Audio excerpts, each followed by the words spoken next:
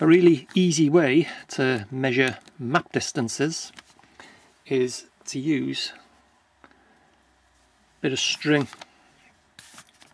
Now then, on all OS maps, that's Ordnance Survey maps, that's 1 to 25,000 and 1 to 50,000, the distance between the grid lines on the map is equal to one kilometre on the actual ground.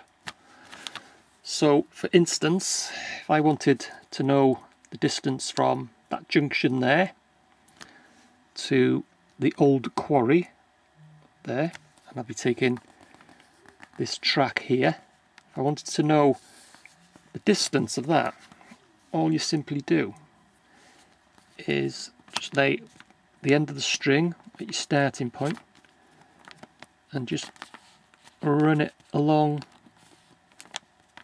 the actual route that you're going to take which in this case is there the old quarry.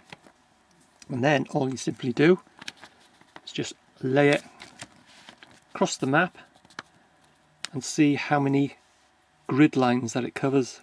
So that's when it's starting there. So it's one two not quite three.